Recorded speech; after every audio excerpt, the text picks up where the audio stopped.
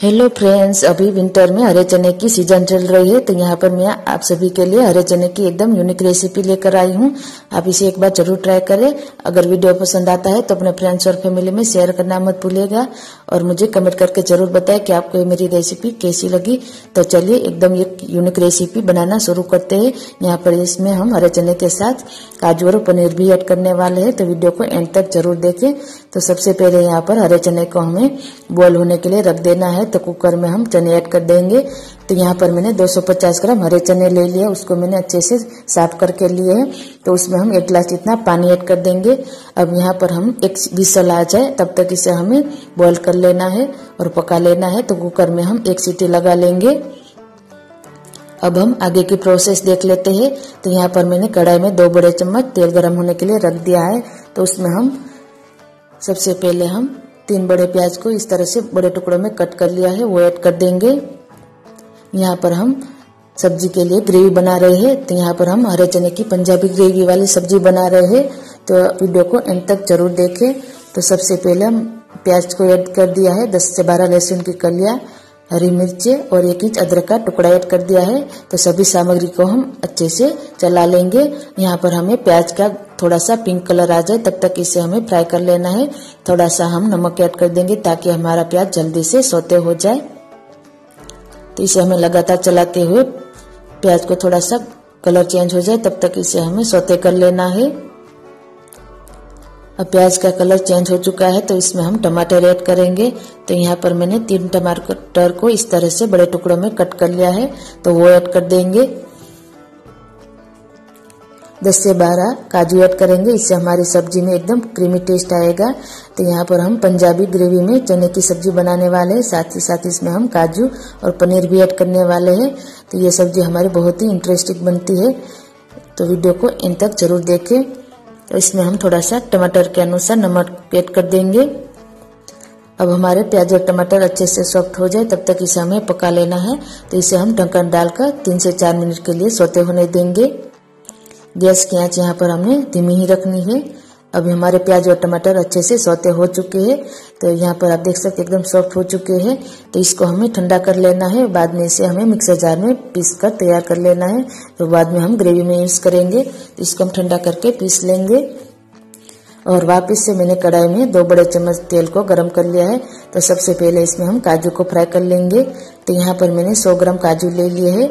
यहाँ पर मैं ये सब्ज़ी छह से सात व्यक्तियों के लिए बना रही हूँ। आप अपने हिसाब से कम ज़्यादा कर सकते हैं। काजू को हमें हल्का सा कलर चेंज हो जाए, तब तक इसे हमें फ्राई कर लेना है। ज़्यादा कलर चेंज ना हो जाए, उस बात का खास ध्यान रखें। तो काजू को निकाल लेंगे। अब उसी तेल में हम सब्ज़ी का तड़का लगाएँगे। तो सबसे पहले हम आधा चम्मच जीरा ऐड कर देंगे। उसके बाद थोड़ी सी हींग ऐड करेंगे। दो चक्करी फूल ऐड करेंगे और एक तज का टुकड़ा ऐड कर देंगे। यहाँ पर आप खड़े मसाले अपने हिसाब से कम ज़्यादा कर सकते हैं। अब दोनों को थोड़ा सा मिक्स कर देंगे।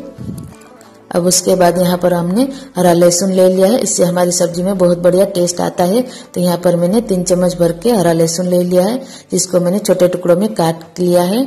उसको भी हम अच्छे से सोते कर लेंगे।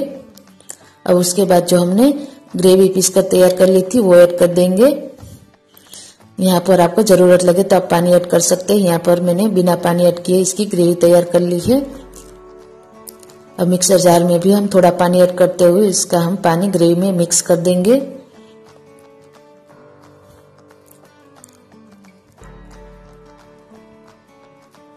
अब यहाँ पर आप देख सकते हैं कि हमारी ग्रेवी इस तरह की बनी है। अब मिक्सर जार में थोड़ा पानी ऐड करते हुए इसको भी हम निकाल लेंगे और ग्रेवी को अच्छे से मिक्स कर लेंगे। ग्रेवी को अच्छे से मिक्स करने के बाद इसको हमें पका लेना है। तो इसे हम ढक्कन डालकर तीन से चार मिनट के लिए पका लेंगे, जब तक इसमें से अच्छे से ऑयल अलग ना हो जाए।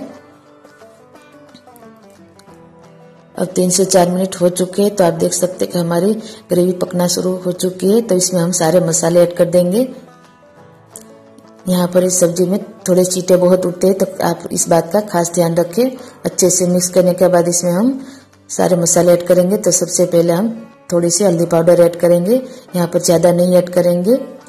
उसके बाद लाल मिर्च का पाउडर ऐड करेंगे। तो यहाँ पर इस सब्ज़ी को हम थोड़ा तीखा बनाने वाले हैं तो दो चम्मच ऐड करेंगे। और एक चम्मच धनिया जीरा पाउडर ऐड कर देंगे। और सभी मसाले को हम अच्छे से मिक्स कर देंगे।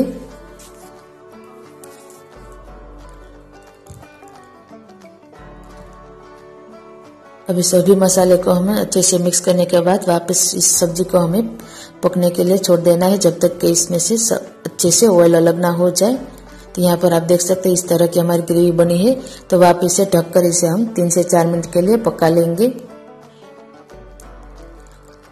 अब तीन से चार मिनट हो चुके हैं तो अब चेक कर लेते हैं। तो अभी आप देख सकते हैं कि हमारी ग्रेवी में से तो बहुत बढ़िया अलग तेल होना शुरू हो चुका है। तो इस बार अच्छे से मिक्स कर देंगे। अब अच्छे से मिक्स करने के बाद इसमें हम जो हरे चने हमने बॉईल किए थे, वो ऐड कर लेने हैं। तो सबसे पहले हम वो ऐड कर देंगे। ये हरे चने की सब्ज़ी इस ग्रेवी में बहुत ही टेस्टी बनती है तो इसे आप एक बार इस तरीके से ज़रूर ट्राई करें। अब हरे चने को हम ग्रेवी में अच्छे से मिक्स कर देंगे।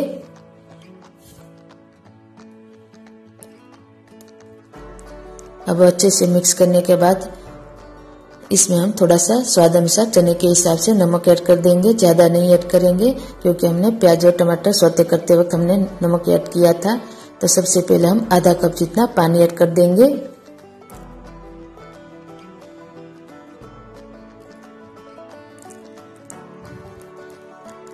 अब पानी हमें ज़्यादा ऐड नहीं करना है। पानी ऐड करने के बाद इसको हम वापस से ढककर दो मिनट के लिए पका लेंगे।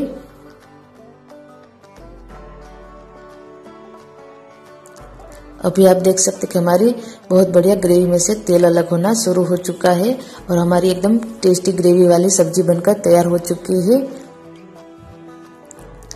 एक बार फिर से मिक्स कर देंगे।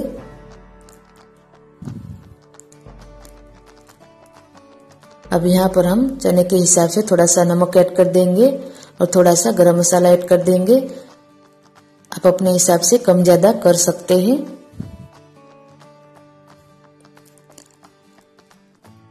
अब सब्ज़ी को अच्छे से मिक्स करने के बाद इसमें हम काजू ऐड करेंगे, जो हमने फ्राई करके रखे थे।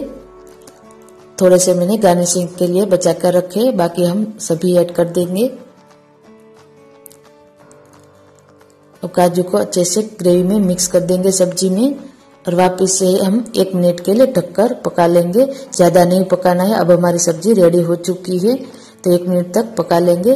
तो अभी हमारी ग्रेवी अच्छे से बनकर तैयार हो चुकी है और सब्ज़ी तैयार हो चुकी है। तो आप देख सकते हैं एकदम पंजाबी ग्रेवी वाली हमारी हरे चने, काजू और पनीर की सब्ज़ी तैयार हो चुकी है। अब आखिर में हम पनीर ऐड करेंगे। तो यहाँ पर हम गैस की आँच को बंद कर देंगे और आखिर में हम पनीर ऐड करेंगे। तो यहाँ पर मैंने 100 ग्राम पनीर को इस तरह से कद्दूकस कर लिया है, वो ऐड कर देंगे। इस सब्ज़ी में काजू और पनीर का कॉम्बिनेशन बहुत ही बढ़िया जाता है तो आप इस बार एक तरी एक बार इस तरीके से ज़रूर ट्राई करें। अब पनीर को हम हल्के हाथों से मिक्स कर देंगे। यहाँ पर हमने गैस की आँच को बंद कर दिया है। अब यहाँ पर हमारी हरे चने, काजू और पनीर की सब्ज़ी तैयार हो चुकी है तो ऊपर से हम हरा धनिया ऐड कर देंगे। तो ये खाने के लिए बहुत टेस्टी लगती है तो आप इसे एक बार ज़रूर ट्राई करें। इसे आप रोटी या पराठे के साथ सर्व कर सकते हैं। अगर आपको मेरा वीडियो पसंद आया हो तो अपने फ्रेंड्स और फैमिली में शेयर करना मत भूलिएगा। और मुझे कमेंट करके ज़रूर बताएँ कि आपको मेरी रेसिपी कैसी लगी। और ऐसी नई नई रेसिपी की देखने के लिए चैनल को सब्सक्राइब करना ना भूलें। और वीडियो को लाइक ज़रूर दें। धन्यवाद।